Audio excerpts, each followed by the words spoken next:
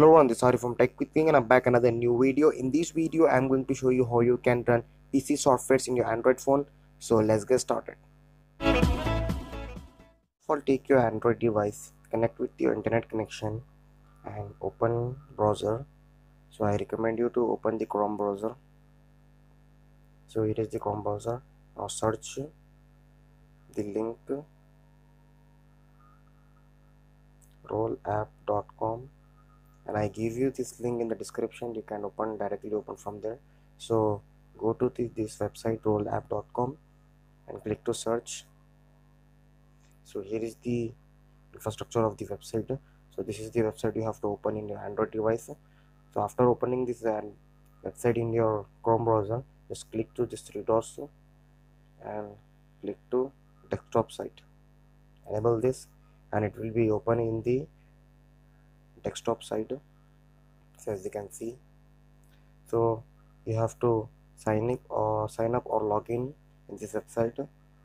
So i'm going to log in in this website and come back again. I've logged in in this website so as you can see i have logged in in this website.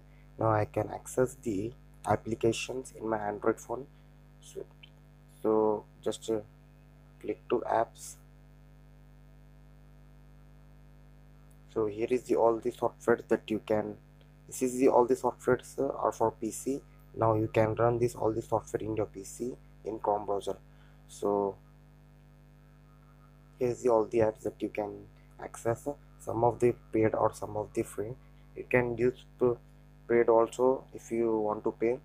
And if you want to use without payment so you can use free softwares. For example i am using gimp here so i'm going to just click that.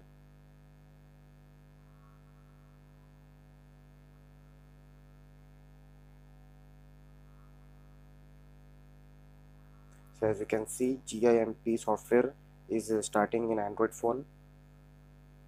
So this is the pc software and running in the android.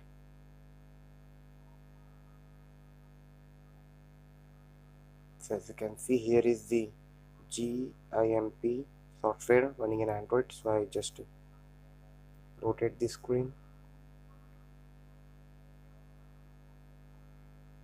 So here is the GIMP running in the Android phone as you can see. I can access.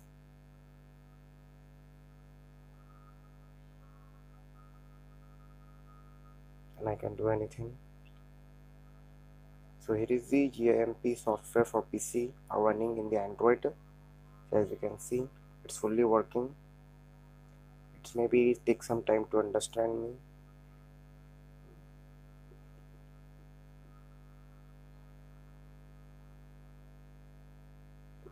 And if you want to save any image or document you can easily store that uh, file in your drive storage.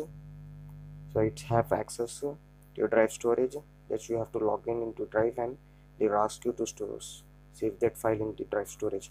So it does not have any problem to save your files. Just you can edit or make your file in this website and you can save your file in your drive and then after you can save it into your device. So here is the uh, PC software running in Android. That's it for this video. If you want more videos on this topic let me know in the comments subscribe for more videos.